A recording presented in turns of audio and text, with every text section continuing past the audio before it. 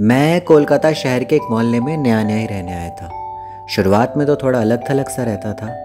नया शहर, नई जगह होने से इंसान थोड़ा सा हिचकिचा सा रहता है। डर लगा रहता है कि कहीं वो कुछ ऐसा अटपटा ना कर दे कि लोग उसे पहचान ले। अरे, तू तो हमारे आगे है ही नहीं। पर जब भी किसी मस्ती कर रहे ग्रुप को देखता तो यहाँ कोई दोस्त ना होने की वजह से थोड़ा सा उदास हो जाता। खुद को ही समझाने के लिए कह देता, ये भी कोई मस्ती है भला? बेटा, अगर वो हमारे दिल्ली वाले लॉन्डो का ग्रुप होता ना तो कोई टिकते भी नहीं। मैं कोलकाता एक जॉब के सिलसिले में आया था। कॉलेज की प्लेसमेंट कंपनी ने मुझे अपने घर से अलग कर दिया।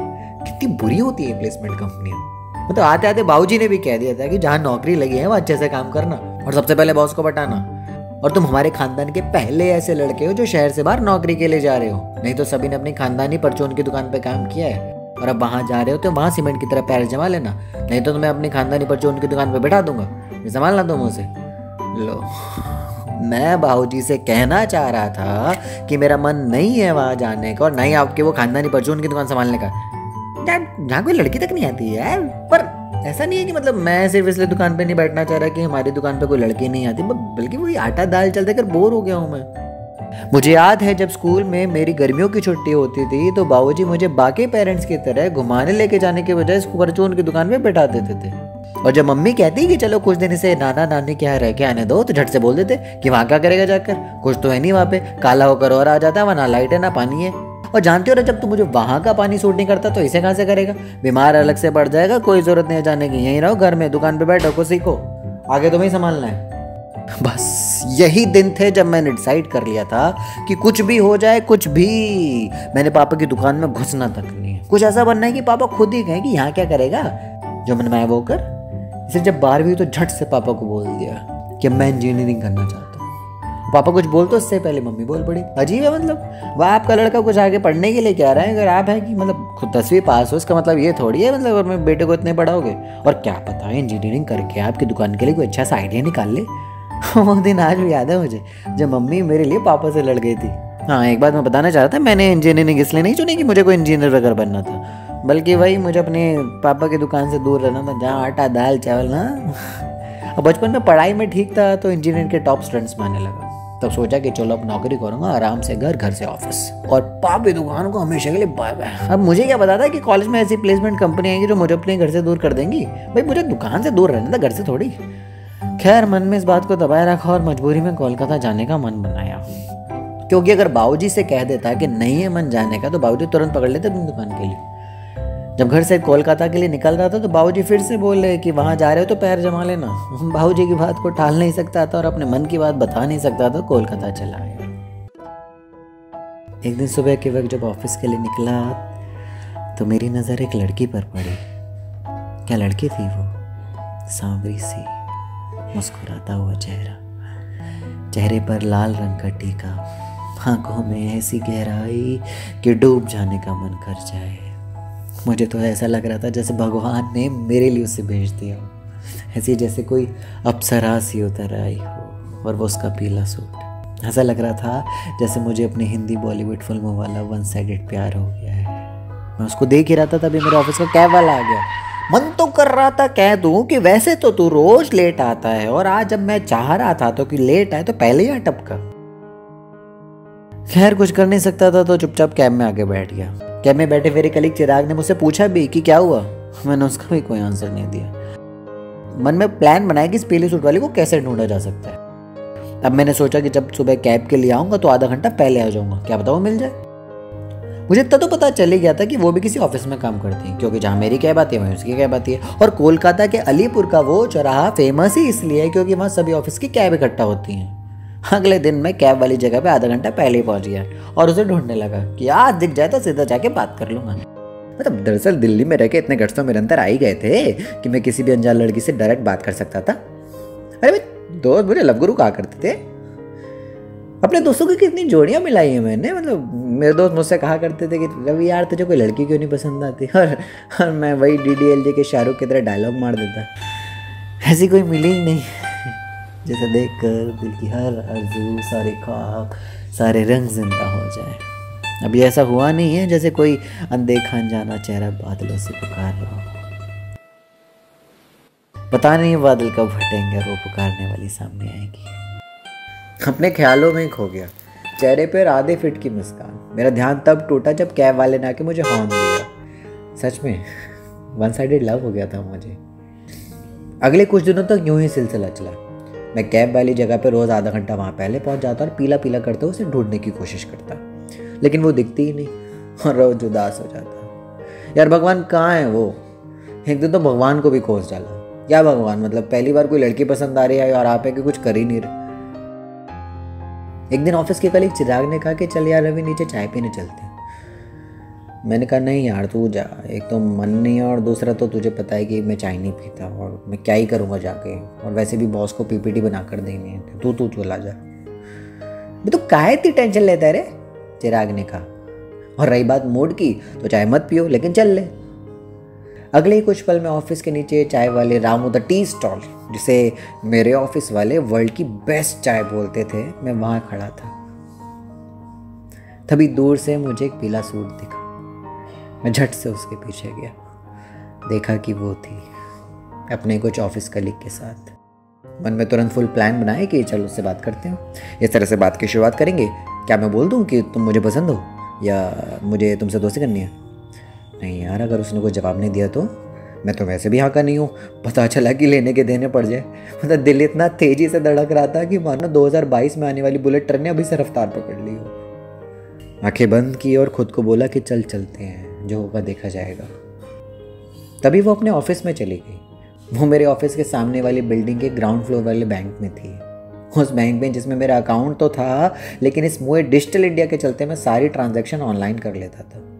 और कभी ज़रूरत पड़ती तो ऑफ़िस ही बैंक के एम्प्लॉय को बुला लेता। आज जब मैंने उसे देखा कि वो यहाँ काम करती है तो मन में खुशी सी हो गई। ऐसे जैसे कि वो मुझे मिल गई हो। ऐसे जैसे कि मेरा सर उसकी गोद में हो। और वो मेरे बाल सहला रही हो। ऐसे, जैसे कि आसमान में बिजली कड़क जाने पर उसने मेरा हाथ ज़ोर से भींच लिया हो। मैं आगे बढ़ा। उसकी तरफ़ बिना कुछ सोचे, बिना कुछ जाने। फ़िल्मों में देखा था कि अगर आप किसी चीज़ को शिद्दत से चाहो तो वह आपको ज़रूर मिलता है। मेरा कदम अब सामने वाली बिल्डिंग की पहली सीढ़ी पर था, जो उस बैंक की तरफ़ जा रही थी। मैं मानो अपने होश में ही ना हो। तभी मन में सोचा, रवि, तू कुछ गलत तो नहीं कर रहा ना? मतलब अभी तो तू उसे जानता भी नहीं है और सिर्फ़ देखने पर से प्यार नहीं होता और और अपनी छोड़ उसकी सोच वो तो तुझे जानती तक नहीं और ना ही कभी देखा है तो कैसे? सोचा कि पहले दोस्ती करते हैं और अगर मैं उसे अच्छा लगा तो उसे अपने मन की बात बोल दूँगा। अगले पाँच मिनट में मैं उसकी कस्टमर एग्जीक्यूटिव वाली टेबल के सामने बैठा था। हाँ मैं हेल्प यू सर उसने कहा मैंने कहा आ, वो वो ये कि यस सर उसने कहा। मैंने कहा कि आ, मेरा अकाउंट है इस बैंक में और मैं अपने एटीएम का पासवर्ड भूल गया हूँ. Okay sir your problem with resolve and relation you password उसने कहा। मेरे मन में ख्याल आया कि उसको कह दो कि मुझे एटीएम का पासवर्ड नहीं तुम्हारे दिल का पासवर्ड चाहिए जो सिर्फ़ मेरे पास हो। मैंने सहमति से सर हिला दिया। सर कल आप आ जाइए हम आपको नई पिन दे देंगे। ठीक है मैंने कहा। अगले कुछ पल में बहुत खुश था। और ऐसा नहीं कि वो मेरी खुशी से मुश्तक हो, बल्कि मेरे चेहरे पर वो किसी के द्वारा भी पढ़ी जा सकती थी। मेरा कलीग चिराग, जिसे मैं बिना बताए बैंक चला गया था, मुझे देखते साथ ही बोला, भाई, क्या हुआ? इतना ब्लश क्यों कर रहा है? मैंने कहा, वो मिल गई। चिराग, कौन मिल गई? मैंने कहा, वो अबे, कौन? उसने मुझे झटक कर पूछा। मैं अपने सपने से टूटा, अपने सामने चिराग को देखते हुए बोला कि कुछ नहीं, चल। ऊपर ऑफ़िस चलते हैं, बॉस को पीपीटी देनी है। मैं अब रोज़ किसी न किसी बहाने से बैंक पहुँच जाता। कभी ये काम, कभी वो काम मेरी उस पीले सूट वाली से दोस्ती हो गई थी। वो शायद समझ गई थी कि मैं उसे सिर्फ़ मिलने के लिए आता हूँ। बैंक का कोई काम वाम कराने नहीं। एक दिन बोली कि तुम यहाँ मत आया करो। बैंक वाले मेरे बारे में गलत सोचने लगे हैं। अब हम नहीं मिलेंगे। मैं सुन पड़ गया, जैसे किसी ने मेरे नीचे से धरती खींच ली हो। मुझसे कहना चाह रहा था कि मैं तुमसे बहुत प्यार करता हूँ, तुम्हें चाहता हूँ, लेकिन बिना कुछ कहे वहाँ से चल दिया। वो पल, वो लम्हे बिताना बेहद मुश्किल होता है ख़ास तौर पर तब जब आप जिसे चाहते हो और वो आपके सामने हो। लेकिन आप उसे चाह कर भी अपने मन की बात नहीं बता सकते। फिर भी मन में बस एक कयास रहता है कि काश काश वो मेरे दिल की बात समझ जाए, मेरी आँखों में अपने लिए प्यार देख ले। वो बोल जो मैं सिर्फ़ इसलिए नहीं बोल पा रहा, वो बात जो मेरे मन में अटक सी गई है। तुम्हें पता है ना कि क्या वजह है तुम्हें आज तक ना बता पाने की? तुम वो हो जिसे मैं चाहता हूँ, और तुम वो भी मुझसे मिलना ही नहीं चाहती। एक सुबह बाबूजी का फ़ोन आया। पूछने लगे कि बेटा ठीक हो ना वहाँ पे? कैसा चल रहा है सब? मैंने भी कह दिया हाँ बाबूजी ठीक हूँ। बाबूजी शायद मेरे मन के अंदर छिपी इस परेशानी को समझ गए थे। बाबूजी बोले, अरे, कोई परेशानी तो बताओ। नहीं बाबूजी बस यहाँ कोई अच्छा दोस्त नहीं बना है ना तो दिल नहीं लगता। बाबूजी बोले, तुम आशा के यहाँ क्यों नहीं आते? और जब से कोलकाता गए हो, अपनी बुआ के यहाँ एक बार भी नहीं गए? आशा का भी फ़ोन आया था कि रवि तो यहाँ रहकर भी नहीं आता। तुम ऐसा करो, इस रविवार को आशा के घर हो तुम्हारा वहाँ होमरूम चिंटू भी है। अब वहाँ तुम्हें थोड़ा अच्छा लगेगा जा करके। हर बार की तरह बाबू जी ठीक है बाबूजी कहकर बात मान ली। ठीक है बाबू जी चला जाऊँगा बाबूजी के घर। बुआ का घर मेरे घर से बीस मिनट की दूरी पर है।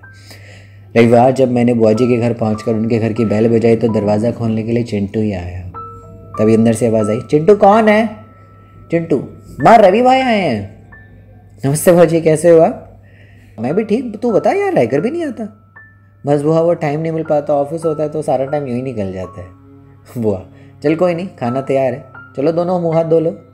खाने में अरहर की पीली दाल देखकर मुझे फिर से याद आ गई। खाना खाकर मैंने चिंटू कहा कि, चल थोड़ा टहल लेते हैं। वो क्या है ना कि, खाना खाने के बाद थोड़ा सा टहल लेता हूँ, क्योंकि उसने कहा था कि उसे मोटे पेट वाले लड़के नहीं पसंद। चिंटू बोला, चलो भैया। घर के बाहर निकला ही था कि वो मुझे दिख गई। देखा कि सामने वाले दुकानदार से उसके रेट कम करने के लिए उसकी लड़ाई हो रही है। वो लड़ाई मुझे बहुत प्यारी लग रही थी। मैं जैसे उसे देखते ही डूब गया। भैया, ईशा नाम है इसका? मैंने कहा हाँ पता है। मेरे ऑफ़िस के सामने वाली बिल्डिंग में काम करती है। उसकी वो सब्ज़ी वाली से नोक जोक ख़त्म हुई तो उसने मेरी तरफ़ देखा।